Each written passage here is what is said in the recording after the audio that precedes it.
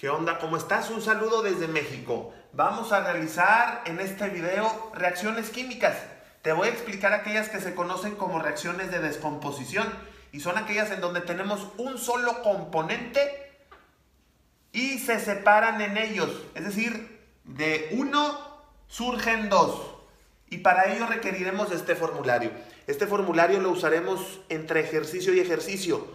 Te lo voy a dejar acá abajo en la descripción del video para que lo puedas descargar e imprimir en formato PDF. Tenemos este componente, tiene hidrógeno y cloro. Checamos rápidamente, vamos a separarlos. Si esta sustancia o componente tiene hidrógeno y cloro, obviamente la respuesta va a ser hidrógeno más cloro, pero no así, porque pues, si no todo mundo podría hacerla sino que hay que consultar los valores de la tabla que te enseñé al principio. Y fíjate, según esta tablita, siempre el hidrógeno, siempre el hidrógeno que vaya solo o que esté solo, va a llevar el numerito ese, el 2. Siempre el hidrógeno solo va a llevar ese 2. Y si te das cuenta, tenemos al cloro. En la tabla también aparece el cloro y tiene el número 2. Entonces lo colocamos. Esta ya sería la respuesta para la reacción química.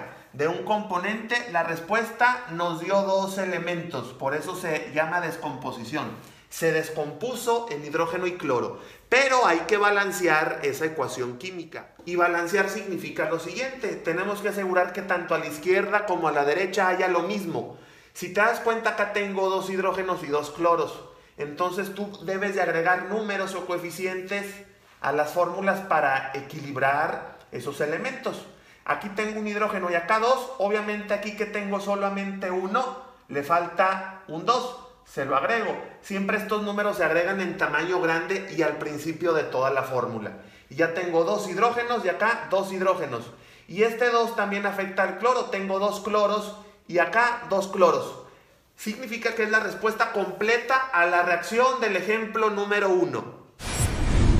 En el ejemplo número 2 tenemos este componente, hidrógeno y fósforo lo forman. Entonces lo separamos en hidrógeno más el fósforo. Acuérdate que si aquí hay un 3, no lo vas a poner al final.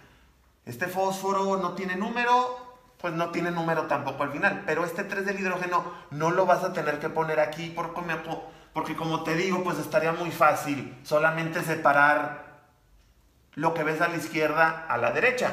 Los números que debemos de colocar son los de esta tabla. Y el hidrógeno, el hidrógeno sí está presente y ves que tiene el número 2. Lo colocas.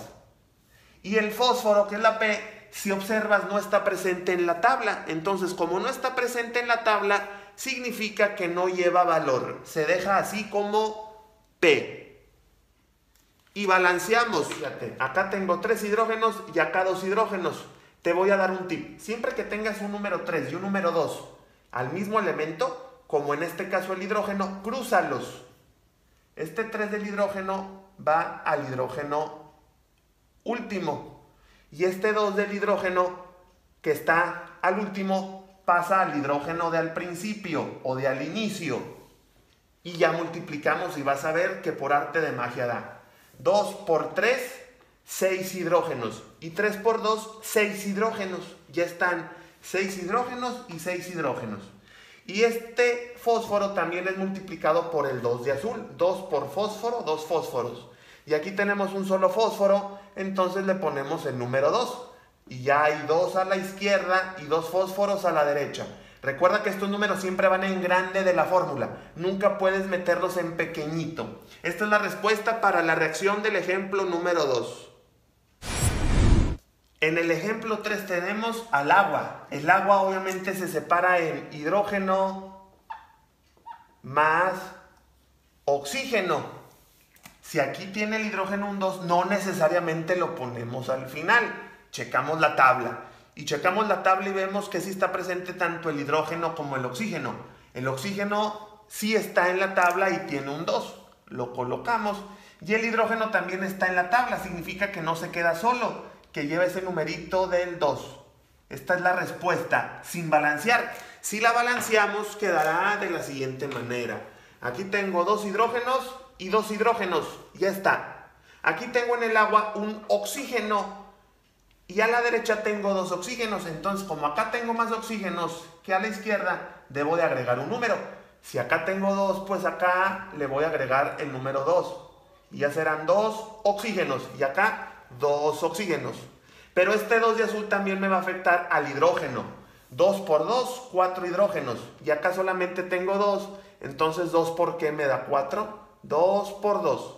Y checamos rápidamente. 2 por 2, 4 y 2 por 2, 4 hidrógenos. 2 oxígenos y 2 oxígenos. Respuesta a la reacción del ejemplo 3. En el ejemplo número 4 tenemos al hidrógeno y al yodo. El yodo es un metal. Vamos a separar en hidrógeno y en yodo.